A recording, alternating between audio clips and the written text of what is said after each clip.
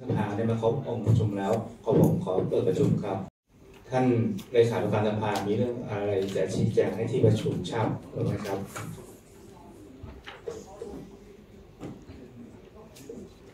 เรียนท่านประธานสภาที่เคารพท่านสมาชิกผู้ทรงเกียรติเรื่องเรียกประชุมสภาเทศบาลนครพิษณุโลกสมัยวิสามันสมัยที่หนึ่งประจำปี 2567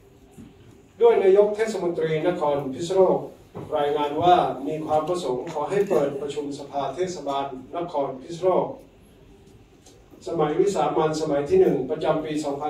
2567 การขออนุมัติขยายเวลาประมาณพุทธศักราช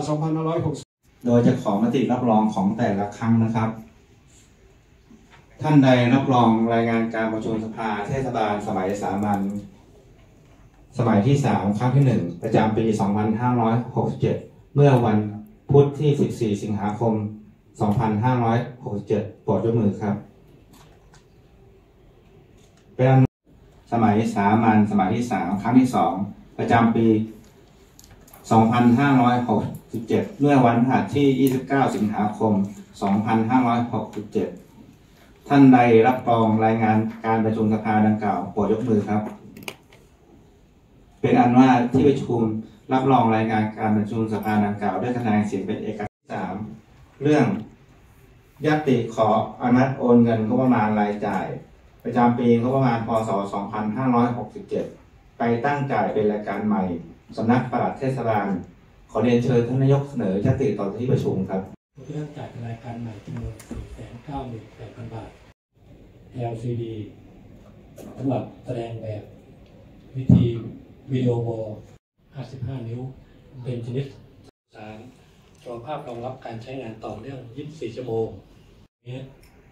1.5คูณ1,080 พิกเซล ไม่น้อยกว่า 5 5 5K สิ่งก่อสร้างภาพปรับปรุงที่ดินและสิ่งก่อสร้าง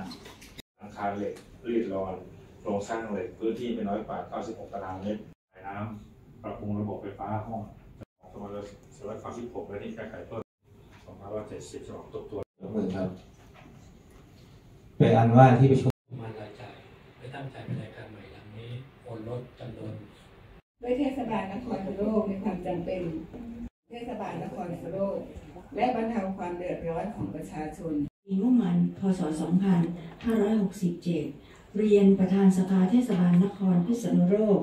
สิ่งที่ส่งมาด้วย ร่างเทศบัญญัติงบประมาณรายจ่ายเพิ่มเติม ฉบับที่ 2จำนวนหนึ่งเล่มประมาณการค่าใช้จ่าย โครงการประเภทก่อสร้างจำนวนหนึ่งชุด ที่วางแผนไว้ตามแผนพัฒนาท้องถิ่น เป็นไปด้วยความเรียบร้อยคณะกรรมการแปรยติ